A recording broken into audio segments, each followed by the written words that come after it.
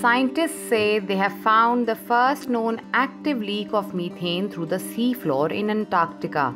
The white patches show the presence of microbes feeding on methane as it rises to the surface.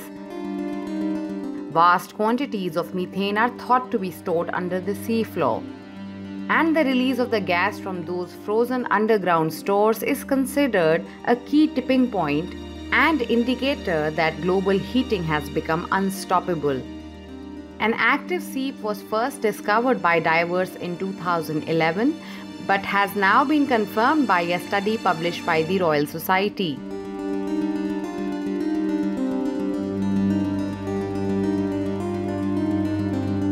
In oceans, methane leaking from the seabed is mostly consumed by microbes.